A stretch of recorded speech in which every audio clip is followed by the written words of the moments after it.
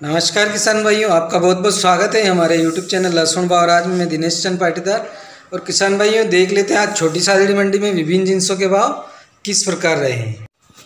सरदार वल्लभ भाई पटेल कृषि उपज मंडी छोटी सादड़ी में विभिन्न जिनसों के भाव मंगलवार को इस प्रकार रहे हैं, जिसमें गेहूँ सोलह से अठारह सौ पच्चीस रुपये प्रति क्विंटल, मक्का एक हज़ार से ग्यारह सौ चालीस रुपये प्रति क्विंटल जो तेरह सौ से तेरह सौ अस्सी रुपये प्रति क्विंटल, सोयाबीन तीन हज़ार दो सौ से तीन हज़ार पाँच सौ पचास रुपये प्रति क्विंटल, सरसों चार हज़ार से चार हज़ार एक सौ पचास रुपये प्रति क्विंटल, मेथी तीन हज़ार पाँच सौ से चार हज़ार सौ रुपये प्रति क्विंटल और चना तीन हज़ार पाँच सौ से तीन हज़ार छः सौ सत्तर रुपये प्रति क्विंटल, धनिया तीन हज़ार पाँच सौ से चार हज़ार सौ रुपये प्रति क्विंटल, लहसुन दो हज़ार पाँच सौ से छः हज़ार दो सौ अस्सी रुपये प्रति क्विंटल। तो किसान भाइयों, में लहसुन में थोड़ी बहुत आज तेज़ी भी देखने को मिली है और छोटी सालड़ी मंडी में लहसुन जो बेस्ट क्वालिटी का था, वो छः हज़ार दो सौ अस्सी रुपये ऊपर में बिका है। इसके साथ ही सब गोल